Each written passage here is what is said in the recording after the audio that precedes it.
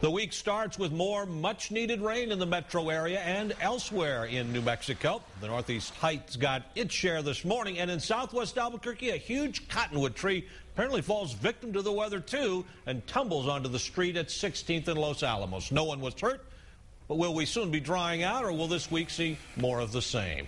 Good afternoon.